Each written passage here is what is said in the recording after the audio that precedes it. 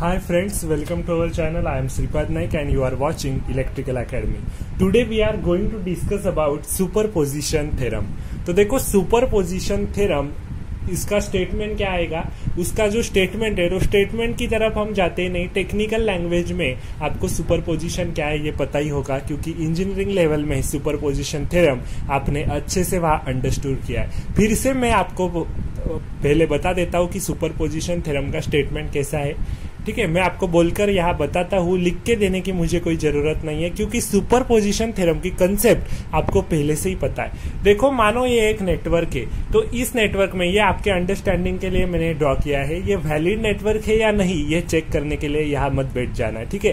क्योंकि ये सिर्फ़ आपके अंडरस्टैंडिंग के लिए मैंने आपको ये नेटवर्क ड्रॉ करके दिया है तो सिर्फ़ आपको बताने के लिए। देखो, मानो अगर आपको इस टू ओम रजिस्टर में से करंट पूछा है, ठीक है? कि टू ओम रजिस्टर में से करंट निकालो तो आप nodal analysis mesh analysis source transformation, ऐसे वेरियस वेज लगाकर इस टू ओम रजिस्टर में से करंट निकाल सकते। लेकिन आपके पास और एक मेथड है थेवेनिस नॉटर थेरम भी है, बहुत सारे मेथड से लेकिन आपके पास एक बहुत ही इंपॉर्टेंट एक थ्योरम है, जिसका नाम है सुपरपोजिशन थ्योरम देखो सुपरपोजिशन थ्योरम थोड़ा लेंदी हो जाता है। अगर आपने सॉल्व किया सॉल्व करने बैठ गए तो थोड़ा लेंदी हो जाता है। इसीलिए सुपर पोजिशन थेरम गेट के लेवल में जहाँ सुपरपोजिशन थेरम के बेस पर प्रॉब्लम आएगा कि वहाँ आपको सुपर पोजिशन थेरम और उसके जो प्रॉपर्टीज़ है वो लगाकर ही आपको सॉल्व करना है। तभी आपको सुपर पोजिशन थेरम गेट में यूज़ करना है। बाकी आपको अगर सीधा सा प्रॉब्लम पूछा गया कि किसी भी एलिमेंट के बीच में आपको करंट चाहिए, उसमें से फ्लो होने वाला करंट या तो फिर उसके अक्रॉस का वोल्टेज चाहिए। तो एट दैट टाइम आपके लिए convenient nodal analysis mesh analysis नहीं तो फिर source transformation Thevenin's theorem Norton's theorem ऐसे बहुत सारे वेज है। तो वो वेज सबसे पहले आपको फॉलो करने। सुपर पोजिशन थेरम बहुत ही वर्स्ट केस आती है, तभी आपको लगाना है। देखो सुपर पोजिशन थेरम के लिए प्रॉपर्टीज़ रहती है होमोजिनिटी प्रॉपर्टी एडिटिविटी प्रॉपर्टी तो इस प्रॉपर्टी के बेस पर अगर प्रॉब्लम आते हैं तो आपको डेफिनेटली सुपर पोजिशन थेरम वहाँ अप्लाई करना पड़ेगा। इसके लिए सुपर पोजिशन थेरम में यहाँ आपको सिखा रहा हूँ, ठीक है? तो ठीक है सुपर पोजिशन थेरम पहले क्या है, ये मैं पहले आपको बता देता हूँ, आपकी फिर से रिविजन हो जाएगी। देखो, अगर मानो मुझे टू ओम रजिस्टर में से करंट चाहिए तो सुपर पोजिशन थेरम अगर मैंने अप्लाई किया तो according to superposition theorem statement कैसे आएगा? अगर मुझे टू ओम रजिस्टर में से करंट चाहिए, या तो फिर उसके अक्रॉस का वोल्टेज चाहिए तो मुझे क्या करना पड़ेगा? कोई भी इनडिपेंडेंट सोर्स जो भी आपको नेटवर्क में दिखाई दे रहे तो उसमें से वन टाइम एक टाइम पे आपको एक ही इंडिपेंडेंट सोर्स लेना पड़ेगा, ठीक है? तो अगर मैंने सबसे पहले थ्री एम्पियर का करंट सोर्स लिया तो ये फाइव वोल्ट का एक वोल्टेज सोर्स आपको दिखाई दे रहा है। ये भी एक इंडिपेंडेंट वोल्टेज सोर्स है और ये फिफ्टीन वोल्ट का सोर्स ये भी एक इंडिपेंडेंट वोल्टेज सोर्स है तो उन्हें आपको शॉर्ट करना पड़ेगा। अगर मैंने बाद में फिर थ्री एम्पियर का करंट सोर्स लेके ये शॉर्ट और फिर ये शॉर्ट ऐसे कर कर इस नेटवर्क में, इस टू ओम रजिस्टर में से कितना करंट जाएगा, ये मैं फाइंड आउट कर लूँगा। ठीक है? ये हुई हमारी केस नंबर वन फिर केस नंबर टू में मैं क्या करूँगा? फाइव वोल्ट का वोल्टेज सोर्स लूँगा। फिर एट दैट टाइम ये फिफ्टीन वोल्ट का तो मैं डीएक्टिवेट करूँगा ही तो इसे शॉर्ट तो मैं करूँगा ही, और ये जो थ्री एम्पियर का करंट सोर्स है, उसे मैं ओपन करूँगा। ठीक है? तो आपको एक एक बात हमेशा फॉलो करनी है कि अगर किसी भी एलिमेंट के अक्रॉस अगर आपको वोल्टेज चाहिए, या तो फिर उसमें से जाने वाला करंट आपको चाहिए तो at that time at one time one time पे आपको वन इंडिपेंडेंट सोर्स वहाँ कंसिडर करना पड़ेगा और बाकी सारे इंडिपेंडेंट सोर्सेस को आपको डीएक्टिवेट करना पड़ेगा। यही आपका सुपरपोजिशन थ्योरम बताता है, ठीक है? तो सुपरपोजिशन थ्योरम कहाँ कहाँ एप्लीकेबल है? तो superposition theorem is only applicable to linear passive and bilateral network ठीक है? किसी भी linear passive and bilateral network के लिए आपका super position theorem definitely applicable है। तो आप कहेंगे कि अगर सुपरपोजिशन थ्योरम से थोड़ा प्रॉब्लम आपका लेंदी हो जाता है तो सुपरपोजिशन थ्योरम हम क्यों अप्लाई करें? तो बिल्कुल सही है आपकी बात। सुपरपोजिशन थ्योरम आपको तभी अप्लाई करना है कि कोई आपके पास वे ही नहीं है सॉल्व करने के लिए। तो एट दैट टाइम आपको सुपरपोजिशन थ्योरम अप्लाई करना है। किसी प्रॉपर्टी के बेस पर आपका न्यूमेरिकल आता है गेट पे तो at that time superposition theorem आपको डेफिनेटली अप्लाई करना पड़ेगा। और एक एप्लीकेशन है सुपरपोजिशन थ्योरम एप्लीकेशन के लिए। अगर एसी एनालिसिस की बात की जाए ये तो हमारा डीसी पे सारा खेल चल रहा है अभी तक तो। लेकिन अगर एसी एनालिसिस की बात की जाए तो एसी एनालिसिस में अगर आपको किसी भी एलिमेंट के बीच में करंट चाहिए, या तो फिर उसके अक्रॉस का वोल्टेज चाहिए, और एट दैट टाइम आपको नंबर ऑफ़ वहाँ इंडिपेंडेंट सोर्सेज दिखाई दे, और उसकी फ्रीक्वेंसी अगर मानो एक सोर्स है वोल्टेज सोर्स उसको आप पोलर फॉर्म में आपको वोल्टेज दिया है, और उसकी फ्रीक्वेंसी अलग है, और और एक सोर्स है, उसकी फ्रीक्वेंसी अलग है तो एट दैट टाइम फ्रीक्वेंसी जब अलग अलग होगी उस सोर्सेस की। तो अब हम एसी एनालिसिस में डिटेल में उसका बात करेंगे ही, लेकिन आपको यहाँ मैं बता देता हूँ थोड़ा। तो एट दैट टाइम क्या होगा? फ्रीक्वेंसी अगर अलग अलग होगी उस सोर्सेस की और आपको किसी एलिमेंट से रिस्पॉन्स पूछा गया हो वो उस इंडिपेंडेंट सोर्सेस को कनेक्ट हो तो एट दैट टाइम आपको क्या करना पड़ेगा? सिर्फ़ आपके पास एक ही चांस है फिर कि आपको सुपर पोजिशन थ्योरम ही अप्लाई करना पड़ेगा। एक ही वे आप, आपके पास। आ, बाकी सारे जो भी है वहाँ mesh analysis nodal analysis super node super mesh Thevenin's theorem Norton's theorem ये सारे जे जो भी हमारे वेज है वो वहाँ फेल हो जाते वो एट दैट टाइम कब जब फ्रीक्वेंसी आपकी वैरी हो रही हो मतलब किसी सोर्स का एक सोर्स है उसकी फ्रीक्वेंसी अलग हो और दूसरा इंडिपेंडेंट सोर्स है उसके लिए फ्रीक्वेंसी अलग हो तो एट दैट टाइम आपको सुपर पोजिशन थ्योरम अप्लाई करना ही पड़ेगा, ठीक है? तो सुपर पोजिशन थेरम स्टडी करना हमारे लिए इंपॉर्टेंट है। तो अभी डीसी एनालिसिस में ये हम स्टडी कर ही लेते हैं फिर बाद में हमारे लिए दिक्कत नहीं आएगी। और ये जो प्रॉपर्टीज़ के बेस पर गेट पे न्यूमेरिकल्स आते होमोजिनिटी प्रॉपर्टी एडिटिविटी प्रॉपर्टी तो एट दैट टाइम आपको सुपर पोजिशन थ्योरम अप्लाई करना ही पड़ेगा, ठीक है? तो देखते ही सुपर पोजिशन थ्योरम क्या होगा। तो ये तो मैंने आपको बता दिया सिंपल मैनर से कि सुपर पोजिशन थ्योरम कैसे एक्ट करता है, ठीक है? तो कोई भी नेटवर्क हो जहाँ number of dependent sources independent sources connect हो, ठीक है? कोई भी नेटवर्क में मतलब यहाँ मैंने इंडिपेंडेंट सोर्सेस ही ड्रॉ किए डिपेंडेंट ड्रॉ नहीं किए, लेकिन डिपेंडेंट सोर्सेस भी प्रेजेंट हो इंडिपेंडेंट सोर्सेस भी प्रेजेंट हो number of present more than one चाहिए, ठीक है? Only one independent source present है तो सुपरपोजिशन थ्योरम अप्लाई करना ही नहीं चाहिए। ठीक है? वहाँ तो कॉमन सेंस आपको यूज़ करना ही पड़ेगा।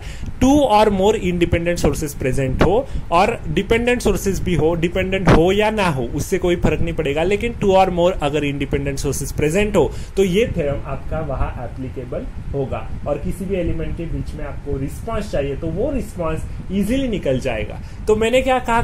करंट सोर्स मैंने कंसिडर किया तो उस करंट सोर्स जब मैंने कंसिडर किया तो एक बात हमेशा याद मेरे को मैं पहले ये बता देता हूँ। अगर आपके पास कोई इंडिपेंडेंट वोल्टेज सोर्स नेटवर्क में प्रेजेंट है नंबर ऑफ़ सोर्सेज प्रेजेंट है, उसमें अगर आपने, मानो अगर मैंने ये करंट सोर्स की बात की कि थ्री एम्पियर का करंट सोर्स लो और टू ओम में से करंट टू ओम में से करंट निकालो या फिर उसके अक्रॉस का वोल्टेज निकालो तो मुझे ये बाकी के जो इंडिपेंडेंट सोर्सेस है, उनको at that time in that case मुझे इंडिपेंड बाकी के जो इंडिपेंडेंट सोर्स है, उनको डीएक्टिवेट करना पड़ेगा।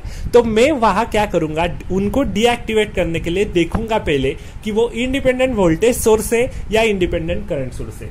अगर वो इंडिपेंडेंट वोल्टेज सोर्स होगा तो एट दैट टाइम आपको उसे शॉर्ट सर्किट करना पड़ेगा। और अगर वो इंडिपेंडेंट करंट सोर्स होगा तो एट दैट टाइम आपको उसे ओपन सर्किट करना पड़ेगा। ठीक है? तो इंडिपेंडेंट वोल्टेज सोर्स को आप शॉर्ट सर्किट करेंगे और अगर इंडिपेंडेंट करंट सोर्स है तो एट दैट टाइम आप उसे ओपन सर्किट करेंगे। ठीक है?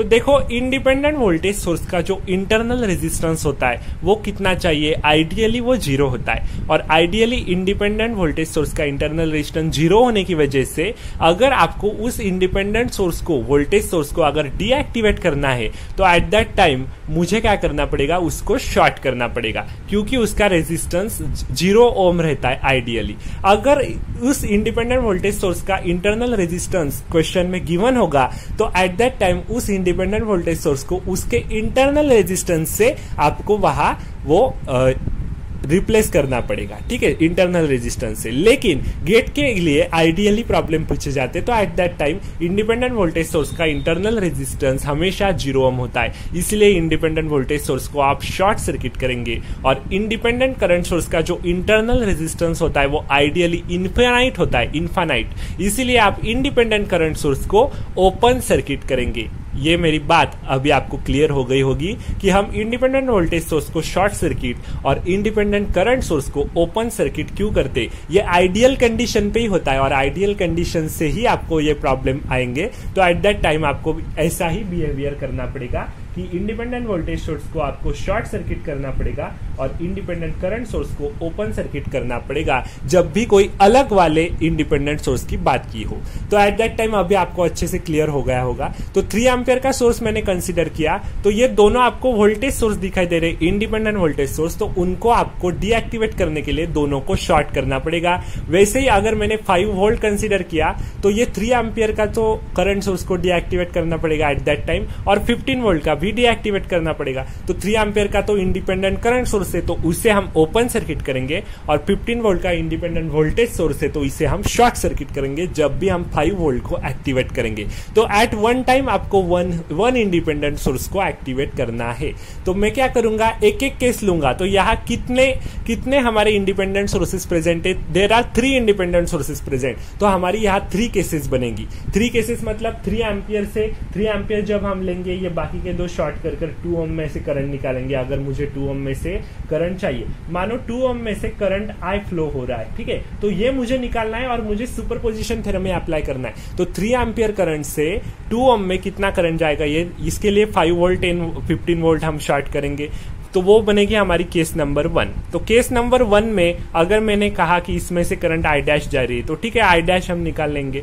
फिर हम कंसिडर करेंगे केस टू केस टू में हम कंसिडर करेंगे कि फाइव वोल्ट का सोर्स है, कि वो एक्टिवेट है, बाकी के डीएक्टिवेट है। तो ये तो ओपन हो जाएगा थ्री एम्पियर का करंट सोर्स 15 वोल्ट का शॉर्ट हो जाएगा। और इस फाइव वोल्ट सोर्स की वजह से यहाँ टू ओम में कितना करंट आ रहा है। तो इसे, ये अगर हमने निकाला तो उसे हम आई डबल डैश से डिनोट करेंगे। आप कैसे भी डिनोट कर सकते वैसे ही केस थ्री बनेगी। जितने सोर्सेस उतने केसेस अगर केस थ्री बनाई तो केस थ्री में ये 15 वोल्ट का वोल्टेज सोर्स है इंडिपेंडेंट वोल्टेज सोर्स ये एक्टिवेट रहेगा तो ये शॉर्ट रहेगा और ये करंट सोर्स इसलिए ओपन रहेगा। 15 वोल्ट की वजह से टू ओम में कितना करंट आता है तो वो आई ट्रिपल डैश हम कंसिडर करेंगे। और तीनों करंट फाइनली ये सारे केसेस डिस्कस करने के बाद तीनों करंट हम ऐड करेंगे। फाइनल टू ओम में कितना करंट जा रहा है ये दिखाने के लिए। I dash plus I double dash plus I triple dash. ऐसे तीनों करंट हम ऐड करेंगे और उसके एडिशन करने के बाद इस टू ओम में से इफ़ेक्टिव करंट आपका कितना जा रहा है? जो भी करंट जा रहा है, ये सारे सोर्सेज जब प्रेजेंट होंगे तो एट दैट टाइम उतना करंट इस टू ओम में से जाएगा, ये निकालने के लिए। तो ये बहुत ही लेंदी मेथड है। तो ये सुपर पोजिशन थेरम आपको जनरली अप्लाई नहीं करना है। जहाँ अप्लाई करने की ज़रूरत पड़े ओनली एट दैट टाइम आपको एट दैट इंस्टेंट आपको वो अप्लाई करना है। तो ये जो प्रिंसिपल मैंने आपको बताया, ये नेटवर्क ड्रॉ करके तो ये प्रिंसिपल एडिटिविटी प्रिंसिपल है, ठीक है? कि किसी भी एलिमेंट के बीच में आपको रिस्पॉन्स चाहिए तो एक एक इंडिपेंडेंट सोर्स कंसिडर करके, बाकी के सारे डीएक्टिवेट करके at a time one independent source consider करके, आपको एक एक कंसिडर करके तीनों की फिर एडिशन करके आपको करंट निकालना पड़ेगा। एग्ज़ाम्पल में अच्छे से आपको क्लियर हो जाएगा, मैं जो ये आपको बता रहा हूँ, ठीक है? तो ये एडिटिविटी प्रिंसिपल है। और एक बात है, और एक बात है। अगर देखो इंडिपेंडेंट वोल्टेज सोर्स की तो मैंने बात की। मानो अगर कोई डिपेंडेंट करंट सोर्स या वोल्टेज सोर्स यहाँ प्रेजेंट होता। मानो अगर मैं कहता कि इस एट ओम के यहाँ एक इंडिपेंडेंट वोल्टेज सोर्स प्रेजेंट है, जिसे, जिसका वोल्टेज है थ्री वी एक्स तो क्या ये इंडिपेंडेंट वोल्टेज सोर्स आप ओपन सर्किट या शॉर्ट सर्किट करेंगे या तो फिर इसे कंसिडर करेंगे? नहीं. ओनली आपको independent current source and voltage source को ही कंसिडर करना है. डिपेंडेंट सोर्स अगर सर्किट में दिखे तो वो वैसा का वैसा ही रखना है. उसे आप अगर वोल्टेज सोर्स होगा तो शॉर्ट सर्किट या करंट सोर्स होगा तो ओपन सर्किट ऐसा कुछ भी नहीं कर सकते। कोई भी डिपेंडेंट सॉरी डिपेंडेंट कोई भी सोर्स प्रेजेंट हो डिपेंडेंट वोल्टेज सोर्स हो या डिपेंडेंट करंट सोर्स हो, मानो ये डिपेंडेंट करंट सोर्स यहाँ प्रेजेंट है तो क्या आप इसे ओपन सर्किट करेंगे? बिल्कुल नहीं करेंगे। उसको वैसा का वैसा रखकर ही सिर्फ़ आपको इंडिपेंडेंट सोर्सेस के साथ ही आपको खेलना पड़ेगा। या डिपेंडेंट सोर्सेस के साथ कभी मत खेलना। इतना ये बात हमेशा ध्यान में रखो, नहीं तो आपका आंसर रॉन्ग हो जाएगा, ठीक है? तो सुपर पोजिशन थ्योरम का ये एक एडिटिविटी प्रिंसिपल है। वैसा ही एक प्रिंसिपल है होमोजिनिटी प्रिंसिपल वो मैं अभी आपको बता देता हूँ, और फिर अगले वाले एपिसोड से हम न्यूमेरिकल डिस्कस करेंगे। तो बहुत ही इंपॉर्टेंट प्रिंसिपल है होमोजिनिटी प्रिंसिपल जो गेट के लिए, उसके बेसिस पर सारे प्रॉब्लम्स ज़्यादातर आते हैं, अगर सुपर पोजिशन पे आते हैं तो ठीक है? तो वो देख लेते हैं। तो देखो homogeneity principle if a scalar or constant is multiply to the excitation which is given to the linear passive network then the response also gets multiply with the same scalar or constant तो देखो, इसका मतलब मैं इस एक network के example से आपको यह बताता हूँ। देखो, मानो ये एटोम और एटोम ये दोनों रेजिस्टर्स पैरेलल में है, ठीक है? तो और ये एक टू ओम का रेजिस्टर है, और सिक्स वोल्ट सप्लाई यहाँ से जा रहा है, ठीक है? सिक्स वोल्ट का supply with polarity plus minus ठीक है? तो देखो एट और एट ओम देखो, सबसे पहले मुझे यहाँ का करंट चाहिए मतलब टू ओम में कितना करंट जाएगा, अगर मुझे चाहिए तो मैं कैसे निकालूँगा? Eight ohm parallel to eight ohm मतलब क्या होगा? फोर ओम बराबर है, दो सेम रेजिस्टर थे, उसका पैरेलल कॉम्बिनेशन तो फोर हुआ, इसका आंसर तो फोर ओम और टू ओम दोनों सीरीज़ में आ जाएँगे फिर, और फोर और टू सिक्स और सिक्स डिवाइडेड बाय सिक्स मतलब वन एम्पियर करंट यहाँ से जाएगा ठीक है तो वन एम्पियर करंट यहाँ से जा रहा है तो यहाँ डिस्ट्रीब्यूट होगा और यहाँ भी डिस्ट्रीब्यूट होगा, क्योंकि ये पैरेलल कॉम्बिनेशन है, और दोनों सेम रेजिस्टर से तो यहाँ कितना करंट जाएगा? पॉइंट फाइव एम्पियर और यहाँ कितना करंट जाएगा? पॉइंट फाइव एम्पियर ठीक है?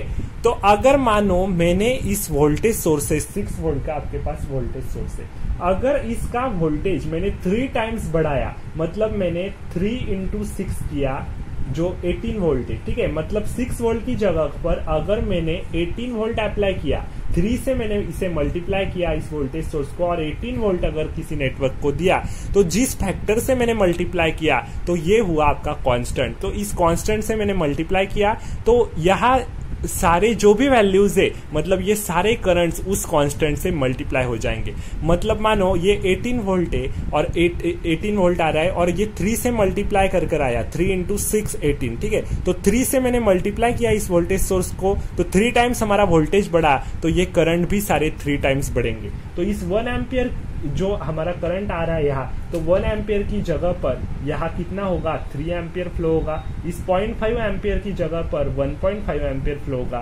वैसे भी यहाँ वन पॉइंट एम्पियर फ्लो होगा, ठीक है? तो ये प्रूव करते। तो देखो, ये एट ओम और एट ओम का रजिस्टर है तो फोर ओम फोर और टू सिक्स तो सिक्स ओम का रजिस्टर इस सिक्स वोल्ट के अक्रॉस है। तो सिक्स वोल्ट का मैंने अगर एटीन वोल्ट किया तो eighteen divided by six ohm का रजिस्टर मतलब एटीन बाई सिक्स मतलब कितना आंसर आता है? थ्री एम्पियर तो इस वन एम्पियर का थ्री एम्पियर हुआ। वैसे इस पॉइंट फाइव एम्पेयर का वन पॉइंट फाइव एम्पेयर हुआ, इस पॉइंट फाइव एम्पेयर का भी वन पॉइंट फाइव एम्पेयर हुआ। तो one into three three ampere, point five into three one point five ampere, point five into three one point five ampere. तो ये कैसे आया? इस सिक्स वोल्ट की जगह पर मैंने एटीन वोल्ट लिखा मतलब किसी कांस्टेंट से मैंने इस वोल्टेज सोर्स को मल्टीप्लाई किया मतलब मैंने थ्री टाइम्स मल्टीप्लाई किया तो हमारा जो के या तो फिर एक्स हम इसे कहेंगे तो एक्स की वैल्यू क्या आएगी? थ्री मतलब थ्री से हमने मल्टीप्लाई किया तो सारा रिस्पॉन्स थ्री से मल्टीप्लाई हो गया। देखो, मानो अगर मैंने वोल्टेज की बात की तो देखो, इसके अक्रॉस कितना वोल्टेज रहेगा? यहाँ अगर सबसे पहले वन एम्पियर का करंट जा रहा था, सबसे पहले तो यहाँ टू ओम का ये रेजिस्टर है तो I R two into one मतलब यहाँ टू वोल्ट प्रेजेंट था, ठीक है? बाद में कितना हुआ? थ्री एम्पियर करंट गया और टू ओम रेजिस्टर है तो कितना वोल्ट हुआ? सिक्स वोल्ट इसके अक्रॉस मतलब थ्री वोल्ट से two into three three factor से ये वोल्टेज भी मल्टीप्लाई होगा तो सारा रिस्पॉन्स आपका उस फैक्टर से मल्टीप्लाई हो गया। So if any scalar or constant is multiply to the excitation यहाँ करंट सोर्स भी हो सकता है या वोल्टेज सोर्स भी हो सकता है, किसी भी एक्साइटेशन को आपने मल्टीप्लाई किया किसी स्केलर और कॉन्स्टेंट से, जो भी किसी लीनियर पैसिव नेटवर्क को आप दे रहे तो रिस्पॉन्स सारा जो भी रिस्पॉन्स है वो भी मल्टीप्लाई होगा उसी स्केलर और कॉन्स्टेंट से। तो इतना आप ध्यान में रखो। तो अगर मैंने माना उसे x कि ये x कांस्टेंट है तो वो x कांस्टेंट है तो अगर मैंने कहा कि मेरा सबसे पहले वोल्टेज था मतलब अगर वोल्टेज न्यू अगर आपने निकाला न्यू वोल्टेज वो रिस्पॉन्स मल्टीप्लाई होने के बाद मतलब वो कांस्टेंट मल्टीप्लाई होने के बाद तो वोल्टेज न्यू वोल्टेज अगर आपने निकाला तो आपका वोल्टेज कितना रहेगा? एक्स इंटू ओल्ड वोल्टेज ठीक है? मतलब पहला कितना वोल्टेज प्रेजेंट था, उसे उस फैक्टर से मल्टीप्लाई किया एक्स टाइम्स वो एक्स ये फैक्टर है, उस फैक्टर से मल्टीप्लाई किया उस ओल्ड वोल्टेज को तो आपको न्यू वोल्टेज मिला, उस फैक्टर से वो इंक्रीज हुआ मल्टीप्लाई हुआ। वैसे ही करंट अगर मैंने बात किया कि न्यू करंट कितना आएगा तो वो भी उस फैक्टर से ही मल्टीप्लाई होगा जिस फैक्टर को आपने एक्साइटेशन के साथ मल्टीप्लाई किया था। एक्साइटेशन को उस कांस्टेंट से मल्टीप्लाई किया था तो वही वो कांस्टेंट है जो सारे रिस्पॉन्स के साथ मल्टीप्लाई होगा। तो ओल्ड करंट के साथ भी वो मल्टीप्लाई होगा तो आपको न्यू करंट भी उस फैक्टर की वजह से अलग मिलेगा जो उस फैक्टर से मल्टीप्लाई होगा आपका ओल्ड करंट वैसे ही अगर मैंने पावर की बात की पावर की बात कि न्यू पावर कितनी आएगी? तो न्यू पावर यहाँ आपकी एक्स टाइम्स ओल्ड पावर ऐसा नहीं आएगा। एट दैट टाइम आपकी क्या आएगी? X square into old power आएगी। मतलब आपका जो पावर का रिलेशन है, वो आपको नॉन लीनियर मिलता है। पावर का जो रिलेशन है, वो आपको हमेशा नॉन लीनियर मिलेगा। ये जो पावर होगी आपकी, वो एक्स स्क्वायर से मल्टीप्लाई होगी ओल्ड पावर के साथ। क्योंकि वोल्ट पावर क्या रहती है? वोल्टेज इंटू करंट तो वोल्टेज का एक्स फैक्टर और करंट का एक्स फैक्टर अगर हमने किया तो यहाँ एक्स स्क्वायर आएगा, यहाँ तो जो भी आपका फैक्टर होगा, उसके स्क्वेयर प्रपोर्शन में आपकी पावर बढ़ रही है। इसीलिए अगर आपने कहीं पढ़ा होगा कि सुपरपोजिशन थ्योरम में पावर हम नहीं निकाल सकते तो सुपरपोजिशन थ्योरम पावर निकालने के लिए एप्लीकेबल नहीं है। ठीक है? मतलब मैं कैसी बात कर रहा हूँ? अगर मैंने वहाँ आपको नेटवर्क ड्रॉ करके दिया था नंबर ऑफ़ सोर्सेस वहाँ प्रेजेंट है इंडिपेंडेंट सोर्सेस तो एक एक सोर्सेस आपने कंसिडर कर कर उसमें रिस्पॉन्स पूछा करंट वोल्टेज निकाला एक एक एलिमेंट कंसिडर करके और फाइनली वो करंट और वोल्टेज आपने तीनों तीनों सोर्सेस थे तो तीनों का एड किया तो आपको फाइनल वोल्टेज या फाइनल करंट आ गया। वैसा अगर हमने पावर के बारे में किया कि एक इंडिपेंडेंट सोर्स लेंगे, उसकी पावर निकालेंगे, फिर दूसरा लेंगे, दूसरे से रिस्पॉन्स के अक्रॉस की पावर निकालेंगे तो ऐसा अगर आपने किया और फाइनली आपने एडिशन किया तीनों पावर का तो आपको जो पावर मिलेगी उस रिस्पॉन्स के अक्रॉस की तो वो गलत मिलेगी, इतना आप ध्यान में रखो। इसीलिए superposition theorem is not applied to find out the power it is only applied to find out the voltage and current responses ठीक है? तो पावर निकालनी हो तो सुपरपोजिशन थ्योरम से अप्लाई नहीं करते। अगर आपको पावर चाहिए और सुपरपोजिशन थ्योरम अप्लाई करके ही चाहिए तो आपको उस एलिमेंट के अक्रॉस का वोल्टेज या फिर उसमें से जाने वाला करंट दोनों निकाल के सुपरपोजिशन से दोनों निकाल के फाइनली जो फाइनल आपका वोल्टेज और करंट आएगा, उसे वी इन टू आई करके आपको फाइनल पावर आएगी। इसीलिए आप हमेशा याद में रखो कि पावर आप कैलकुलेट नहीं कर सकते सुपरपोजिशन थ्योरम के हिसाब से, ठीक है? वोल्टेज और करंट ही कर सकते, इतना आप ध्यान में रखो। और ये फैक्टर्स का ये जो रिलेशन है, ये रिलेशन ही होमोजेनिट के लिए आपके लिए काम में आने वाला है, ठीक है? तो ये रिलेशन भी आप याद में रखो। तो देखो मैं और एक एग्जांपल लेता हूँ। देखो एक लीनियर बायोलैटरल नेटवर्क है, ठीक है? आपके पास एक लीनियर बायोलैटरल नेटवर्क है। वहाँ आपने सप्लाई दिया है 2.5 वोल्ट का सप्लाई दिया है। यहाँ से करंट जा रहा है, मानो 4 एम्पियर जा रहा है। और आउटपुट पे आपका करंट आ रहा है यहाँ 2 एम्पियर ठीक है?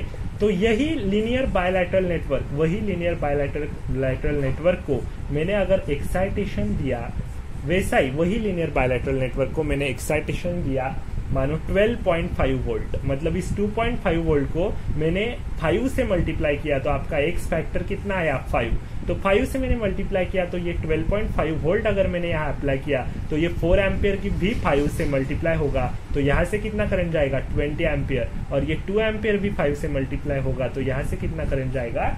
टेन एम्पियर तो ऐसे ही सुपर पोजिशन का ये जो होमोजिनिटी प्रिंसिपल है यह अप्लाई होता है कि किसी भी कांस्टेंट से अगर आपने एक्साइटेशन को मल्टीप्लाई किया तो सारे रिस्पॉन्सेस उस कांस्टेंट से मल्टीप्लाई हो जाएँगे। तो ये होमोजिनिटी प्रिंसिपल अच्छे से याद में रखो, इस पर गेट पे ज़्यादा प्रॉब्लम्स आते हमेशा एक एक प्रॉब्लम तो होता ही होमोजिनिटी प्रिंसिपल बहुत ही इंपॉर्टेंट है गेट पॉइंट ऑफ़ व्यू से। तो यह आप ध्यान में रखो।